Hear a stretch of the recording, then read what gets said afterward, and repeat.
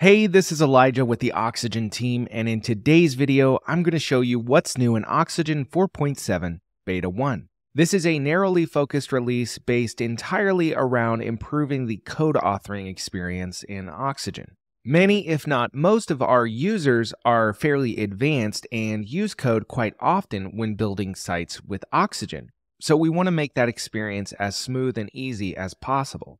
So the first thing we did was we upgraded our CodeMirror, which is the JavaScript library that provides the editor you use when you're editing code in Oxygen. We bumped that up to the latest version.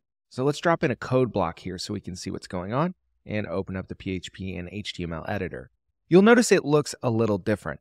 And in the beta, there still is a bit of polish that we've already started to wrap up for the next release. So this will only get better from here. But what upgrading the CodeMirror library allowed us to do was introduce new features. If we go over, for instance, to the CSS section and start writing some CSS, we'll do my class, and then we want to add a background color. We're going to get autocomplete, which allows us to, once it kind of shows what we want, we can just hit enter and drop that in. So this will be familiar if you're used to working in another IDE. And we'll go ahead and add a value here so that our code is valid. And then we'll go back and JavaScript also has autocomplete. So we can do let my var name equal function. And you can see it dropped in the basic structure of a function there. So this should be helpful for you when writing code inside of Oxygen. And we also have a nice auto closing feature for HTML tag. So if we do something like section and then close that, it's going to go ahead and create the closing section tag for us, which is super handy. Now let's assume we have a bunch of code in here. Let's do a div and then let's do an image and then let's do another div. And then inside that, let's go ahead and do a paragraph with a bunch of text, text with multiple lines. Now you can see the code starts to get a little bit tall. So what we can do is we can just use these little arrows in the sidebar here to fold that code down to one line. So once you've built something out, if it's like a big function or something and you're done editing it, but you're working around it, you can fold the code down. And this works across all of the editors. So we can fold entire rules in CSS and then in JavaScript, of course, if we had a function, we could fold that as well. Now, another really cool quality of life feature here is the find and replace. So if we hit Control or Command F while we're in the code editor, we have this new interface for search and replace. So we can actually search for text inside the entirety of the code. Whereas before you had to use the browser search function, which could only search what was visible. This will actually search everything in the code editor. So we could search for div and it's going to find all the divs. We could replace them with section if we wanted to and replace all, and that's going to alter our code for us. We also have the ability to match case, use regex, and match by word. So this is going to be really handy when you're writing more robust features using the code editor in Oxygen.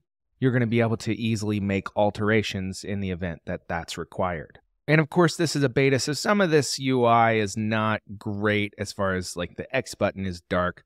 Uh, we're going to fix all of that in the next release. So for now, it's functional and you can try it out. But the final upgrade we made, which is the one I'm personally most excited about, is the mixed code view. So if we go over here to mixed code, we're going to see all three of our editors. So we can see all the code that we've done at a glance.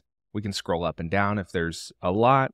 And then we can expand into the full editor view when we really want to get focus on one particular type of code. But for a lot of really small, like one off things, like say a button that triggers some effect, this will give you a view of basically all the code you're going to need for something like that. But if we want to go in and edit the code of any one of these, we just hit expand and open that up.